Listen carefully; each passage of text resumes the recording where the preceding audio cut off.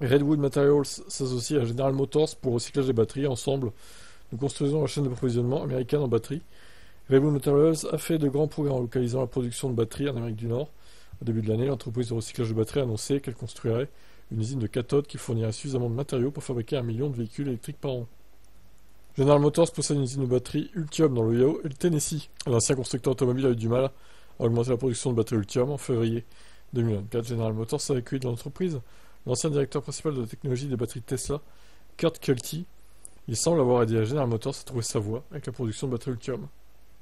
En mars 2024, l'usine 0 de General Motors dans le Michigan avait finalement quitté l'enfer de la production. L'usine 0 de GM était censée être une usine d'assemblage de véhicules électriques entièrement automatisée et une installation de production de cellules de batterie. Cependant, GM a rencontré des difficultés, plus de difficultés que prévu en tout cas, en essayant d'augmenter la production de lithium.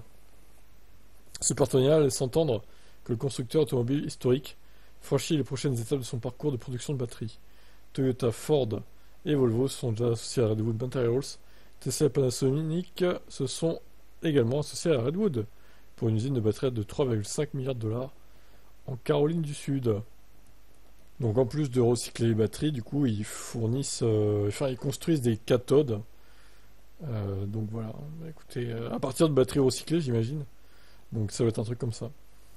Et ben voilà, bravo à General Motors, Redwood Materials, qu'elle vend en poupe en ce moment.